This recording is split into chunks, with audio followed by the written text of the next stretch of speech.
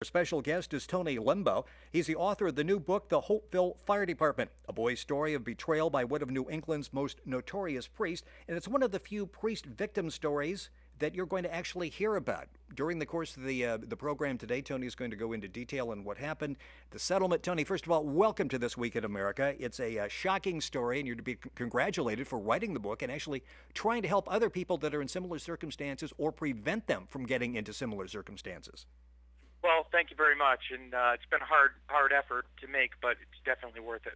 Let's take something that was in the news just a while back, and that was the settlement with the Archdiocese of Los Angeles. $660 million, I think the largest settlement so far, divided by over 500 people, came with an apology. Just as an outsider looking at that, uh, it seems like that's a lot of money, but explain what the money means and the fact that many people, victims say, that just doesn't make it go away. It doesn't make it right. And then tell me what the apology means. First of all, with the money, what does that mean? Because you had a settlement with the Archdiocese of Boston. What does that settlement mean to you? Does that ease the pain in any way? No, no, it really doesn't. Uh, I can only speak for myself, but I think that most of the survivors feel the same way. And, uh, uh, you know, getting into the civil uh, court uh, with this pedophile priest uh, was never about money. It was about stopping this priest from continuing to do harm to children. Uh, and the way I felt about it was to uh, once I once I got the money, um, I spent a sig- significant portion of it so that I could uh, exercise my freedom of speech and tell the country exactly what has been happening to uh, the survivors out there. And I know that's something that was very important to you. It's like if I get this money and I don't share this story and I don't help other people and I don't try to prevent this from happening, I'm really doing an injustice. I really need to make sure that I retain my right throughout this entire process to, at the appropriate time, go public and tell what happened to me. That's right. Uh, a federal judge mediator got involved with our case, and uh, I, right from the onset, I made it clear that you know I would the only way I would go, you know, through this arbitration was uh, if I was not forced to sign a non-disclosure agreement because I, I felt as though I could not uh, take money uh, from these people as a settlement if it was contingent on, on me being silent because I think that it was all the silence for many, many years uh, is the reason why, you know, there's been over 10,000 people who have you know, come forward. Well, when you look at your cir- circumstances, and not a whole lot different than others I've read about, Father Foley, in this particular case, the priest, and we'll set the, exactly what happened in just a few seconds, but Foley, back in 1967 in the seminary, accusations first came up about the fact that there was there were some sexual issues back then, and in many cases, you read it, and it happened in Boston, where a priest would be accused of sexual misconduct in, in one diocese and would be shifted off to another. Was the church really lax in the early stages, taking this pro- problem very seriously? Uh, I think that they were. Uh, I don't understand it. Uh, it really hurt me deeply, uh, you know, being raised Catholic and believing in the church. When I found out all the facts that had happened surrounding what happened to me, it, it, it really bothered me, you know, that in 1967, nine years prior to uh, what happened to me, that they actually knew that this guy was doing it. And then it absolutely blew me away to, you know, when I found out that uh, a couple of years before this happened with me, they gave this man, you know, the position of state police and fire chaplain for the state of Connecticut, which is a very coveted position and one which has an even higher amount of trust bestowed on them. Uh, I, I for the life of me, I cannot figure out why they did that. Yeah, when you talk about a magnet to attract young men, he is the state police fire chaplain. He drives around in a tricked out car that looks like a police car. That, that's the title of the Hopeville Fire Department. Uh, he's a priest, so if you grow up Catholic, you've got this great reverence for the priest. So you not only are buddies with the priest, here's a guy that can take you out to fires, that can get you in parades on the back of a fire truck. It really is a magnet to attract young men, isn't it?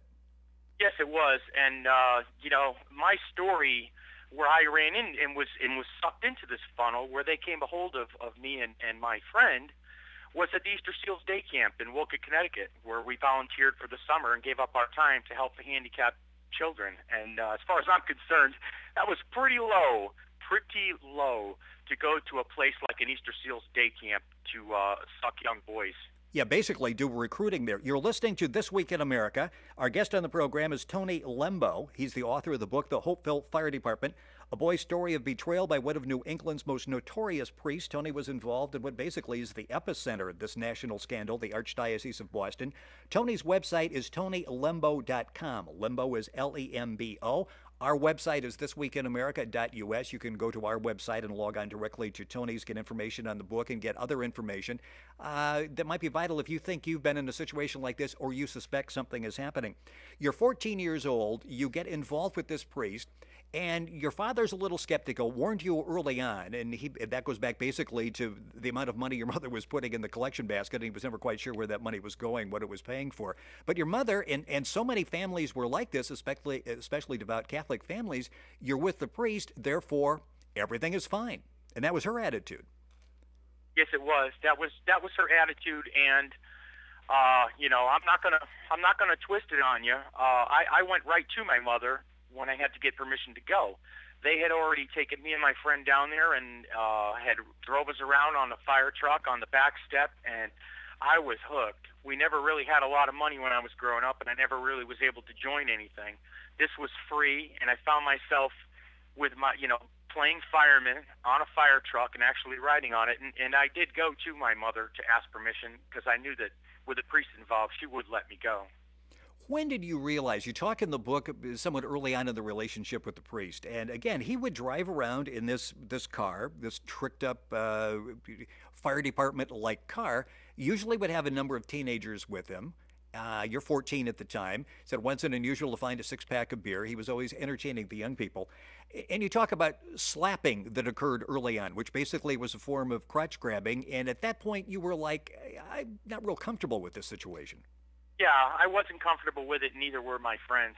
But you know, we tolerated it. It came in spurts, and uh, when we would finally, you know, lash out in, you know, in react, uh, which, which we did, uh, they would they would temper the situation by rolling up the doors and bringing out the fire truck and taking us around and d- defusing the whole situation after the initiation occurred, and this is where there was a, somewhat intimate sexual relationship uh, at the time, you and your friend, uh, which you describe it in detail in the book, the Hopeville Fire Department, and information on that at tonylembo.com, our guest on This Week in America. After that happened, and this this is fascinating because as you hear all of these stories, they talk about how this actually changed their lives, and they say that, but we really don't understand exactly how it changed it in reading the book, we find out what happened to you. Basically, your whole attitude towards the church. I remember the, the story in the book where your mom is, is getting you up to go to church, and you don't want to church anymore. And you get into a really series of arguments with your parents, especially your mother, because she's buying this religion stuff. Your whole attitude totally changed towards the church. Yes, it, really did. I mean, you, also have to remember at, at that age, uh, you know, I wasn't thinking, you know, through the mind of, of a grown adult. And, you know, having a uh, brutal sexual attack uh, happen to me, uh, I'm sorry, but uh, this was the only priest that I ever actually knew in person. And he was the nicest priest that I ever knew in person until all of a sudden he got ugly. So, you know, the priests in the church are always nice. And to me, I just thought, you know, I'm sorry, my mother was wrong. She's been she's been going to church, and these people are not about God, and they're they're not about all the things that they say they are. Because I felt as though I knew who they really were, and I wanted no part of it. it you know, I couldn't be dragged into that church, although I was. I quickly uh, was not, you know, having to go in there anymore because they literally had to drag me in there. You know, I was crawling in my skin when I sat in the pew during the sermons. I couldn't even look at them it really put a strained relationship on the the relationship that you that you had tensions with the relationship with your parents. Also, you dropped out of school and joined the Marines, and you, you sort of insinuate at one point in the book that maybe the Marine Corps was a, a way for you to go away and, and, hide and just try to put this behind you. Was that why you? I think you dropped out in the tenth grade to join the Marine Corps. Was was that why you did that? That's exactly why I did that.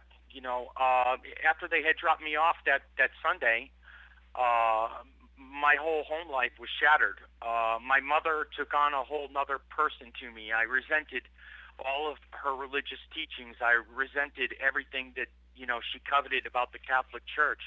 Uh, it drove a wedge between my mother and myself. I spent so much time, you know, fighting with my mother and running away from her trying to pull me in.